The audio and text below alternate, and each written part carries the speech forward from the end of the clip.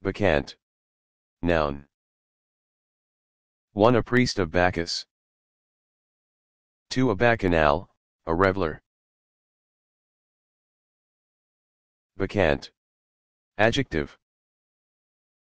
1. Bacchanalian, fond of drunken revelry, wine-loving, reveling, carousing.